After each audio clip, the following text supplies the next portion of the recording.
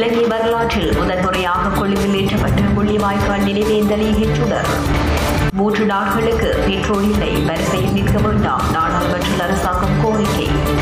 கைதான மகிந்த சகாக்கள் நீதிமன்றில் முன்னிலை. ரணிலுக்கு எதிராகவும் வெடித்தது போராட்டம். மறுஅறிவிப்பு வரை லிட்ரோ நிறுவனம் அதிரடி அறிவிப்பு. ஆரம்பமானது இன்றைய நாடாளுமன்ற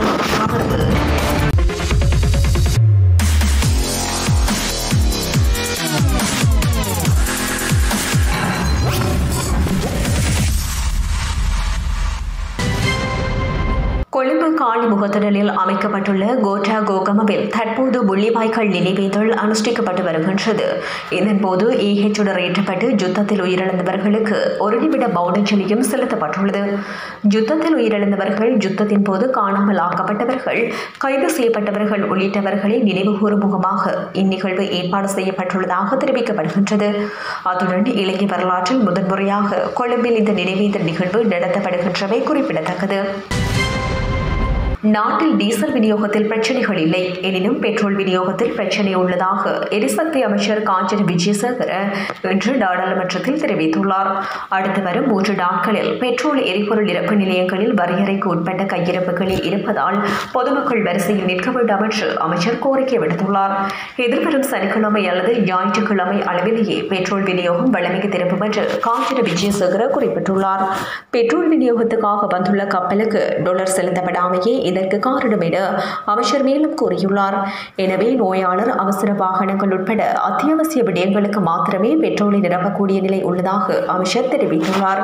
டீசல் கையிருப்பை பொறுத்தவரை இன்று மாலைக்குள் நாட்டில் உள்ள ஆயிரத்தி நூற்றி தொண்ணூறு எரிபொருள் நிரப்பு நிலையங்களுக்கு எரிபொருள் தொகை அனுப்பப்பட என அமைச்சர் கூறியுள்ளார். இதேவேளை கப்பல்கள் வந்துள்ள போதும் கடல் கொந்தளிப்பு காரணமாக துறைமுகத்தில் அவற்றை இறக்க முடியாமல் லிட்ரோ எரிவாயு விநியோகமும் இன்று நடைபெறாது என்பதால் பொதுமக்கள் வரிசையில் நிற்க வேண்டாம் என அமைச்சர் வலியுறுத்தியுள்ளார் கைது செய்யப்பட்ட நாடாளுமன்ற உறுப்பினர்களான சனத் நிஷாந்த் மற்றும் மிலான் ஜெயதிலகா ஆகியோர் இன்று நீதிமன்றில் ஆஜர்படுத்தப்படவுள்ளனர். குற்றப்புலனாய்வு திணைக்களத்தினரால் நேற்று தினம் அவர்கள் கைது செய்யப்பட்டிருந்தனர். கடந்த ஒன்பதாம் தேதி அலரி மாளிகை மற்றும் காலிமுகத்திடலில் ஆர்ப்பாட்டத்தில் ஈடுபட்டு ஆர்ப்பாட்டக்காரர்கள் மீது தாக்குதல் மேற்கொள்ளப்பட்ட சம்பவம் தொடர்பில் அவர்கள் கைது செய்யப்பட்டதாக தெரிவிக்கப்படுகின்றது. இதேவேளை மேல்மாகாடு சிரேஷ்ட காவல்துறை மாதிபர் தேசபந்து தென்னகோன் நேற்றைய தினம் குற்றப்புலனாய்வு திணைக்களத்தில் இருந்து வெளியேறியுள்ளதாக விண்ணப்பிக்கப்படுகின்றது கடந்த ஒன்பதாம் தேதி அலரி மாளிகை மற்றும் காணிமுகத்துடல் ஆர்ப்பாட்டத்தில் ஈடுபட்ட ஆர்ப்பாட்டக்காரர்கள் மீது தாக்குதல் மேற்கொள்ளப்பட்ட சம்பவம் தொடர்பில் வாக்குமூலம் வழங்குவதற்காக அவர் குற்றப்புலனாய்வு திணைக்களத்தில் ஆஜராகியிருந்தார்.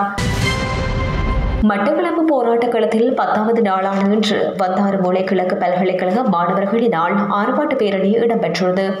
இன்று மாலை வந்தாறு மூலை கிழக்கு பல்கலைக்கழகத்திலிருந்து கையில் தீப்பந்தங்களையும் பதாகைகளையும் ஏந்தியவாறு அரசுக்கு எதிராக கோஷமிட்டு பல்கலைக்கழக வளாகத்திலிருந்து பேரணியாக பல்கலைக்கழக மாணவர் செங்கரடை சந்தி வரை சென்றனர். இதன்போது செங்கரடை பிரதான வீதியை முற்றுகையிட்டு சுமார் இரண்டு மணி நேரம் போராட்டம் இடம்பெற்றது.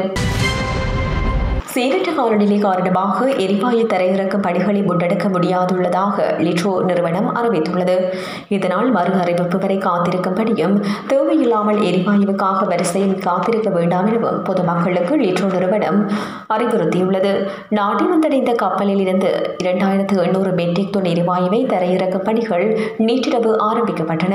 எனினும் சீரற்ற வானநிலை காரணமாக முழுமையாக தரையிறக்கும் பணிகள் தடைபட்டுள்ளன. அத்துடன் மூவாயிரத்து ஐநூறு மெட்ரிக் டன் எரிவாயு தாங்கிய மற்றொரு கப்பல் நாளை தினம் நாட்டை வந்தடைய உள்ளதாக லிட்ரோ நிறுவனம் தெரிவித்துள்ளது. இதேவேளை இன்று முதல் சமையல் எரிவாயு விநியோக பணிகளை மீள ஆரம்பிக்க லிட்ரோ நிறுவனம் நேற்று அறிவித்திருந்தது. இன்று காலை பத்து மணி முதல் சபாநாயகர் மஹிந்த ஜாப அபிவர்த்தன தலைமையில் நாடாளுமன்ற அமர்வு ஆரம்பமாக நடைபெற்று வருகின்றது.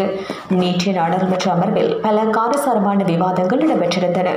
இதேபடி நேற்றைய தினம் அமர்வில் ரகசிய வாகனங்கள் நடாத்தப்பட்டு புதிய பிரதி சபாநாயகரும் தெரிவு செய்யப்பட்டிருந்தார்